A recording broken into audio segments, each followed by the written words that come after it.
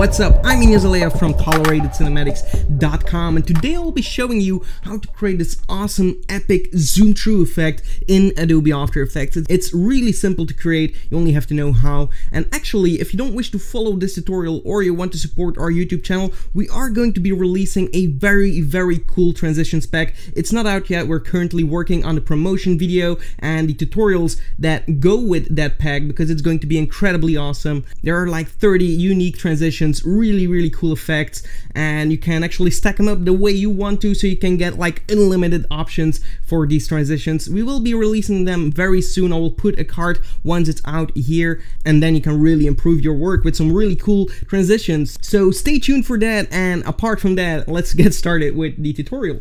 Alright, so here we are in Adobe After Effects. This is the transition that we are going to create today. Uh, it looks really, really cool. And you see that a lot in the recent kind of popular travel videos and stuff like that. So that's why I thought it would be really cool to make a video on this. By the way, let me do a short demonstration on our new transitions pack. I'll create a new adjustment layer. And then right here, this is our transitions pack. So um, you have a bunch of options. Really really cool. Like the hyper zoom effect i really like this one. You just drag it onto an adjustment layer press u on the keyboard and just drag it over like so and then you will have your transition. So really cool and if you want to use another one you just delete all the effects right here. Maybe you want the simple zoom in effect right here and we can drag this over as well. So press U on the keyboard and just select all of these keyframes and just drag them over like so and now you'll have this effect right here. And the cool thing about this pack is that you can actually create a new adjustment layer on top of your original one and apply the chromatic aberration for example. Press U on the keyboard and just select the keyframes and match them with your shot right here. So right here we have these keyframes, center them out right here, and then change the blending mode to an overlay and now you will have these effects stacked up together. So as you can see right here, we have some chromatic aberration action. You can go ahead and tweak all these things. So this is a short overview of our own pack that will be released very, very soon. And once it's out, I will put a link in the description. So if you're seeing this video a little bit later, um, you might actually see it in the description already. So, okay, let's get started with the tutorial. I'm, I'm sorry that I'm doing some self-advertisement, but this is the only way to keep the channel alive and to improve the content that we create. So hopefully you understand. Let's create a new adjustment layer right here and the first thing that we want to do is just rename it to transition and then click on your adjustment layer, search for the effect transform and apply this, well, the transform right here, apply this to your adjustment layer. Then we go back into time a little bit right here and we're going to click on the keyframe for the scale right here. So create a new keyframe by clicking on the stopwatch right here. If you press U on the keyboard, you will see your keyframe right here in your timeline. Go ahead to wherever um, the shots connect right here and go one frame backwards. And right here we want to increase our scale to something like 200. Go one frame forward again and change it maybe back to 25. And then we're going to move it a little bit further away in time and change it back to 100. Okay, so now this is the effect that we have. Okay, pretty basic. Uh, what we want to do here is click on our second image right here, and you can actually do this with video as well. So uh, just so you know, uh, search for the motion tile effect and apply this to your image. Now we're going to click on mirror the edges and we're going to increase our output height and width. So we're going to increase it just as necessary so don't overdo it. It's all going to take some memory of your computer to calculate so make sure that you don't overdo this effect and you can actually do this very smoothly like so. There we go. So now our complete screen is filled in and if we're going to do another preview we'll have something like this. Okay, so now it actually just fills in the gaps um, next to that image. Okay, so what you want to do now is select all of these keyframes, right click and go to keyframe assistance and click on easy ease. Then we're going to open up the graph editor by clicking right here and make sure that you are working in the edit speed graph right here. So for the first keyframe, we're going to select it and then just drag it right here on this anchor point or on whatever it is. We're going to drag this to the right. For the second one, right here, we're going to drag this in a little bit like so.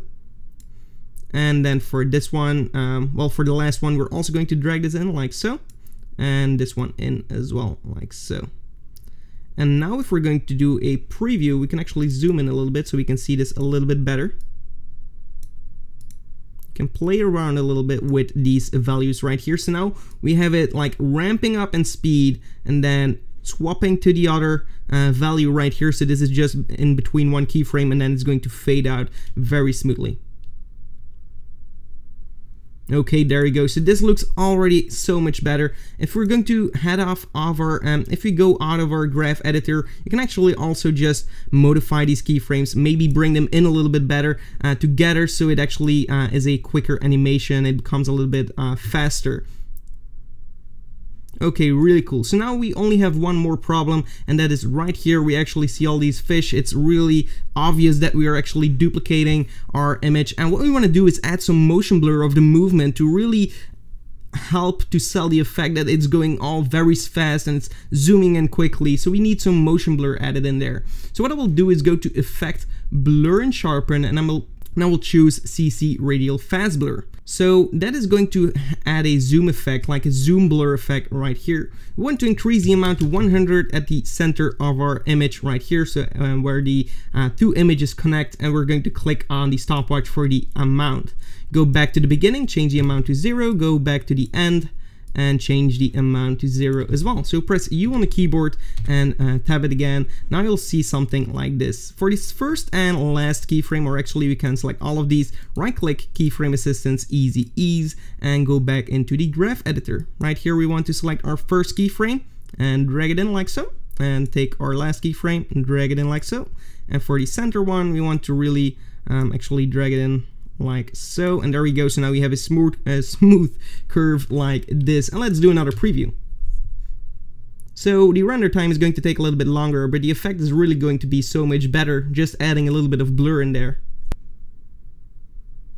Alright, and there we go. So now if you want to use other images, videos, whatever, you can save this and just position this right here in the center where they connect and the effect will be applied immediately. So uh, what you can do as well is create another adjustment layer and go to our preset pack. So that's in the presets TC transitions right here. Really cool. And we have so many. Oh my god, it's awesome. Okay, so some light leaks, for example, we can apply this right here and press U on the keyboard and just make sure that this is dragged over right here. And make this a little bit longer. And you can play with the blending modes. Maybe an add right here or a screen. Uh, let's see what works here. Classic color dodge might be cool as well.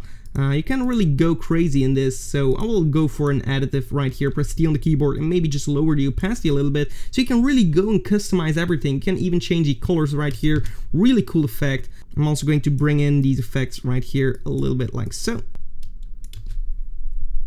And I'm also going to keyframe the opacity right here to be zero at the beginning, maybe 100 in the center, why not, and zero at the end, and there we go.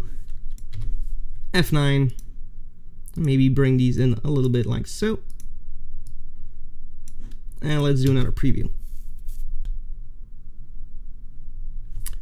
So damn cool with these lens leaks. Okay, so really cool effect. I hope you enjoyed this tutorial. If it helped out, give this video a thumbs up and also subscribe to the channel if you want to see more of my content. And then I'll see you in the next one. Goodbye.